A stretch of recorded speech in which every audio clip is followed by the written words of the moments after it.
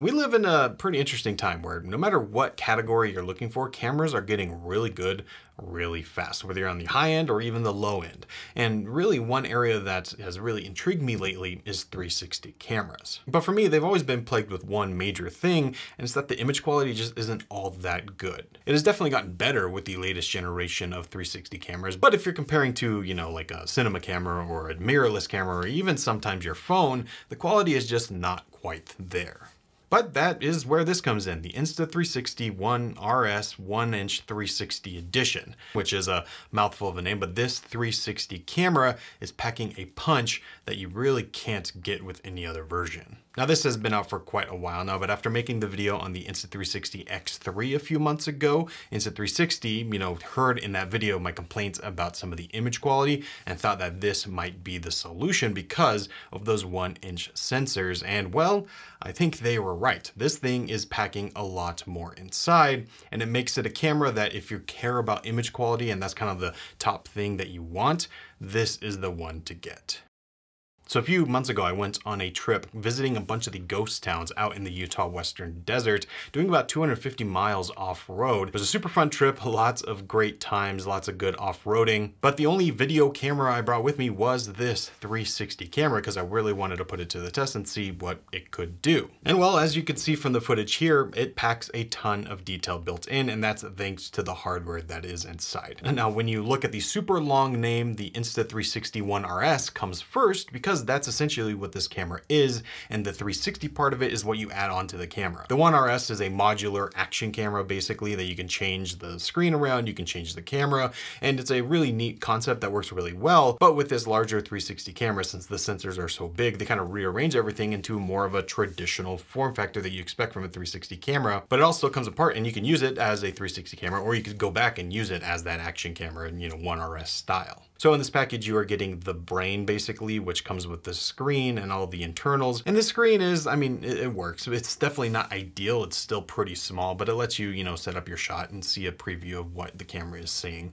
But compared to something like the X3, you kind of get spoiled there. This is definitely smaller. And since it is modular, it would be nice to see Insta360 come out with something that maybe expanded that screen into something bigger. I don't know, maybe for the next generation, that'd be something they could do.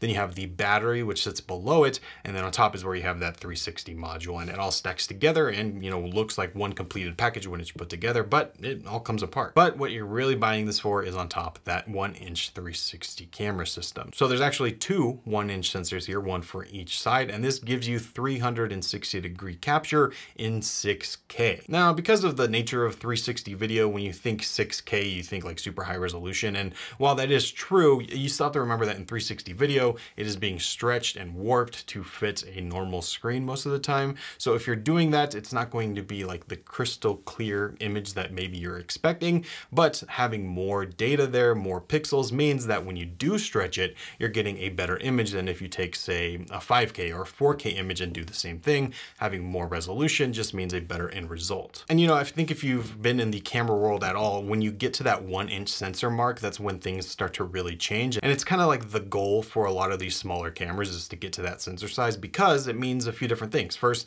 is you just get a bigger sensor, which means you can gather more light. And I think the main thing for that is that you get better low light performance. Small cameras are notorious for not performing well when the light gets low. And when you have a 360 image, that's even worse because you're stretching it and really zooming into what the image is looking like. So having the biggest sensor possible to gather the most amount of light, I mean, that's an ideal way to do it. And this just does it the best of any 360 camera I've used, at least the, you know, consumer consumer prosumer ones. But that sensor is also giving you more dynamic range. So from the lights to the shadows, you're gonna be able to see everything all in really good detail. And overall, I mean, I'm just really happy with how the images turned out in terms of quality. They have a ton of detail, they have a lot of dynamic range, and wherever I point the camera, it looks good, even if I zoom in a lot. Although I will say, I mean, you still have to be realistic about what the image is going to look like. This is still a relatively small sensor in the, you know, the grand scheme of things, and it is being stretched to that 360 Insta360 format, so it's not like it's going to be perfect, but compared to something like the Insta360 X3, which is more of the consumer version of this,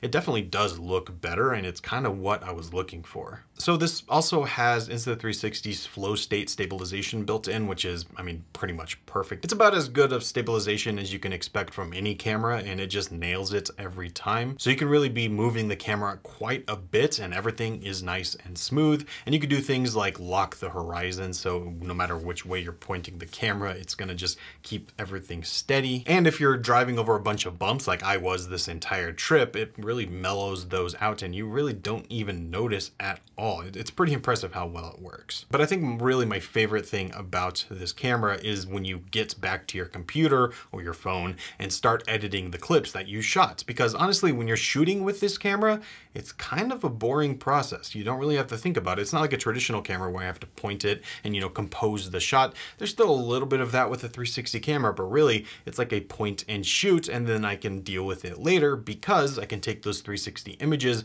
and reframe it wherever I want. And this is certainly doable on the Insta360 app, but to get the best quality possible, you really want to do it on your desktop since you can export in ProRes and that is just like the optimal quality that you can get. So that's the way I do it. I mean, it really doesn't matter which one you go. I just like to do it on the desktop. But here, this is where you can adjust pretty much everything. So as basic as the aspect ratio, you know, 16 by 9, or for me, I shoot these videos in 2.35 to 1, so I can just select that right here and it automatically does that. Or I could do, you know, more advanced things like track subjects. So if I wanted it to always be focused on me, I can set that tracking. It'll go through the clip on its own and use AI to track me and it works really well and makes it a lot more seamless. But if you want even more manual control, which is kind of what I do most of the time, you can go in and use keyframes to really select each individual point and where you want the camera to be looking. And that's why I say, you know, it's more fun to edit this footage rather than shoot it because really when you're shooting, you just hold the camera there and then you get to have fun later on and see what kind of cool images you can get from this.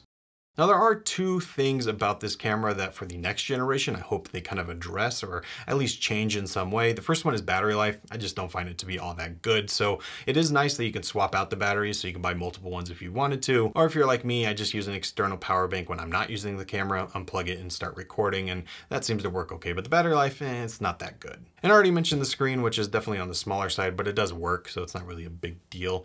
But the other thing is just kind of annoying is that the SD card is kind of, you know, know, sandwich in between these different components. So you have to take the entire camera apart in order to reach the SD card. And it's just, it's just not the most convenient. You can always plug in over USB-C to your computer to offload the files, which is definitely easier, but I like to do the SD card method because I, I just, that's just how I do it. And it would be nice if it was easier to access them. So if for the next generation they fix those, this is gonna be an A plus camera. So uh, for me, I mean, overall, this replaces the Insta360 X3 in pretty much every way, because for me, the main thing I care about is image quality, and this is giving you that with those one inch sensors and 6K footage. But is it worth it coming from the X3, or if you're looking to buy either one and you'd wanna save some money, get the X3 or spend a little more and get this? Hmm, I think it depends on what your use case is. If you're like me and want the best image quality, then this is obviously what you want. But if you're just gonna be posting to social media or just, you know, having fun with 360 video, the X3 is still a solid way to go. But I am glad I have this thing. It's the camera that's always in my bag, always with me, because with 360 degree video, the options are really endless.